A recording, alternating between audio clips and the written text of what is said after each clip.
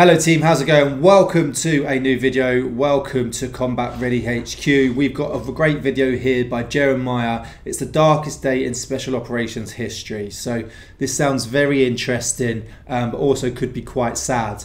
So looking forward to getting into this though and finding out a little bit about the special operations history of the US. Uh, as always, please check out the original video in the description. Go give them a like, a follow, subscribe, share as much as you can, please. But as we get into it, always remember to comment and subscribe. Check out our Instagram and our free Discord to join the community. Check out our merch, coffee, free website. I'd really appreciate all the support. But let's go. This is footage of one of the darkest days in Special Operations history. On the day this footage was taken, May 3rd, 2016, the Special Operations community lost what I truly believe to be one of the greatest warriors of our time. Special Warfare Operator First Class Charles Keating IV was born on February 1st, 1985 in Phoenix, Arizona. Keating's family had a long history of participating in competitive sports. His father was an American former competitive swimmer who represented the United States in swimming at the 1976 Summer Olympics. His grandfather won the National College Championship in the 200 yard breaststroke at the NCAA Swimming and Diving Championship. They are also related to four time Olympic medalist Gary Hall Sr. and 10 time medalist Gary Hall Jr. Wow. During high school, Charlie participated in sports as well, making a name for himself in his junior and senior years as a champion runner. After graduating high school, he attended Indiana University and was accepted to the track team. After the September 11, 2001 terrorist attacks, he decided he wanted to join the military and become a U.S. Navy SEAL. And so, when the time was right in 2007, he enlisted in the U.S. Navy, leaving Indiana University. He graduated from basic underwater demolition SEAL training in 2008 and served two deployments in support of Operation Iraqi Freedom and one tour in Afghanistan in support of Operation Enduring Freedom.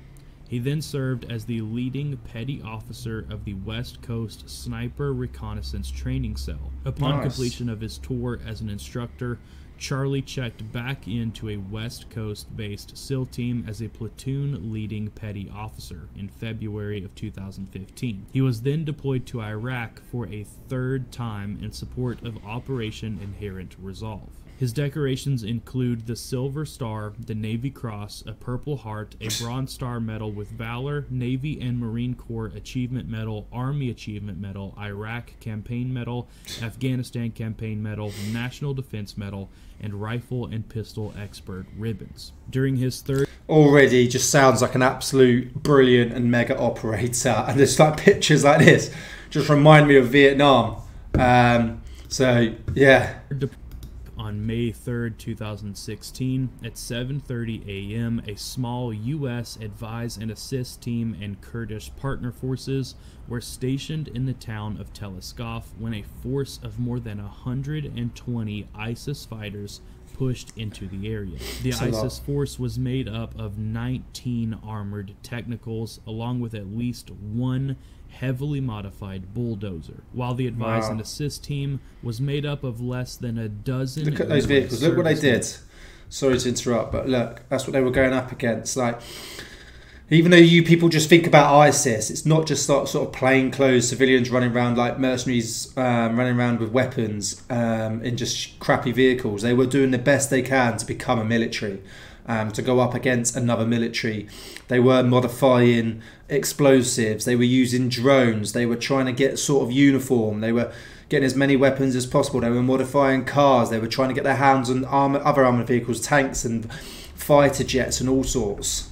Wasn't just like people running around And in now um, they, along with their partner like force, flip-flops. were severely outgunned. But luckily for them, Special Warfare Operator First Class Charles Keating was part of a quick reaction force heading their way to rescue them.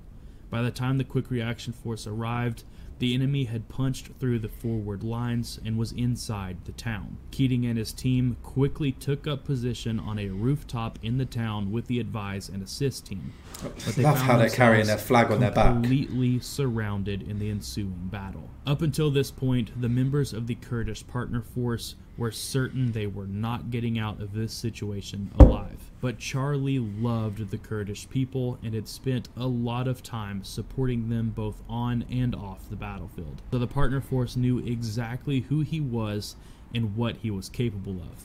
And so, when he arrived, he brought a tremendous amount of much needed hope to the soldiers. Charlie immediately took charge of the situation and started calling out enemy locations and directing the fire of his teammates.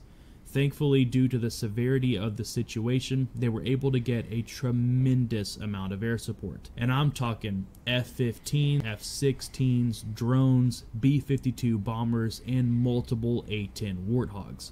They sent absolutely everything to thin out the enemy's overwhelming numbers. Unfortunately, one of the first bombs dropped on the enemy's position missed and landed just a little bit behind the enemy, which forced the enemy to aggressively push forward onto the team's position, which made the situation for Charlie and his team much, much worse. One of Charlie's teammates said that the best guys in a firefight will always be in the most dangerous positions. Too right. Because someone has to hold those positions regardless of how dangerous it is, and that's exactly what Charlie did.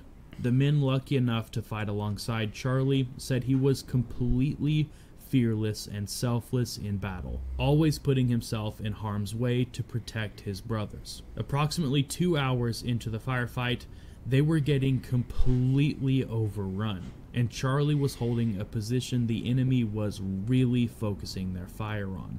Bullets were flying everywhere, whipping right past Charlie, but he held his position regardless single handedly eliminating dozens of enemy fighters and keeping them from flanking his teammates. But eventually, one round made it inside his body armor, and despite his team's best efforts to treat his wound, and their incredible ability to get him quickly medevaced out of the area, his wound just simply wasn't survivable.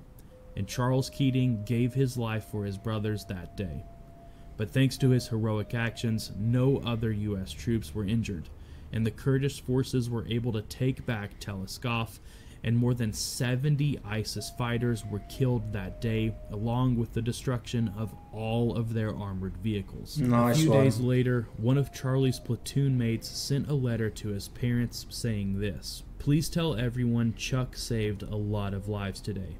Partner Force fled, and Navy SEALs held the line. Chuck was leading the fight as always. He went unconscious with that big signature smile on his handsome face. Chuck was full of aloha, but also a ferocious warrior who killed dozens today to save his brothers. Long live the Brotherhood. Charles Keating IV, Charlie, or Chuck, or C4, was born into a family of veterans, all American athletes and Olympians, even a gold medalist. So naturally, Charlie and the love of his life, Brooke, celebrated their anniversary on the 4th of July. She called him the huge goofball everybody wanted to be friends with. The adventurer who surfed and spearfished and planned to sail around the world. When the Twin Towers fell, he was in high school and he decided to enlist. Joined the SEALs because he told his friends it was the hardest thing to do. He deployed to Afghanistan and three times to Iraq, earning a Bronze Star for valor. Earlier this month, while assisting local forces in Iraq who had come under attack, he gave his life.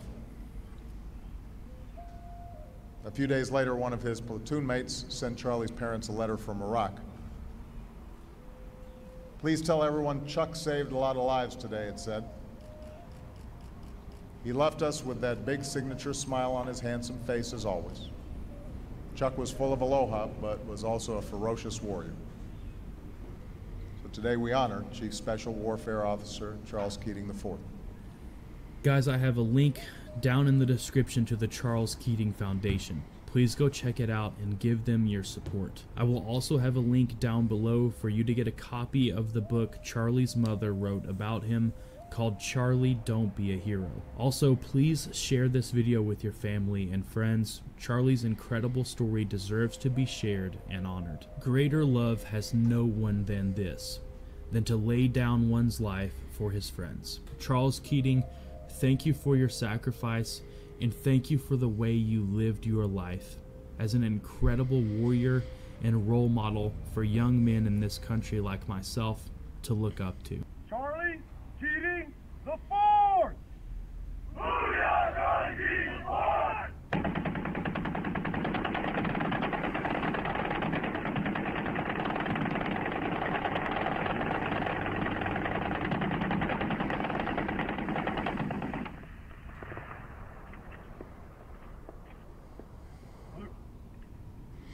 What an absolute hero. Once again, go and check out the original video in the description. Check out the links. Donate if you can. Check out the book, as he said. It's always great hearing stories about heroes and operators like this. Um, it's these people that are willing to do the bad stuff that people complain about, but they're willing to do that stuff so you can live your life in freedom and do what you want in your country. Um, it's not a load of rubbish. He generally laid down his life so you can have your freedom, put himself through hell just to be the best. You know, he did one of the hardest and toughest trainings in the world to become a US Navy SEAL, to go on these deployments. You know, it's not just about being in a dangerous place and doing what people most people don't want to do. It's you have to go through the training first to even get there. That's what people don't even realize. Um, he did that, absolute warrior. You saw how they were dressed as well. It don't matter how you're dressed. I hate it when they're like the most British Army units, US Army units. It's like make sure your shirts, you know, this, this, this, shave, blah blah blah. Look at him in a t-shirt, body armor, weapon, helmet, just doing the job and getting the job done like it doesn't matter. Like apps like the, the awards and the achievements he has he has got throughout his career absolutely amazing. It's just sad that he lost his life so hugely pay your respects to him. Um, thank you. Thank you so much mate. Um, what an absolute true hero and it was really nice hearing this story and hopefully we can get this story out to many more people. Um, but it just shows like in the world there's bad things going on that people need to deal with. Um, so you can live your life and these are one of those heroes and sounds like an absolute lad. Um, you can see by the videos he just you know loves having a laugh loves just being like his missus said being a goofball um, but when it comes to the battlefield, was an absolute serious, highly professional operator and got the job done. So well done to him, well done to US Navy SEALs, and thank you.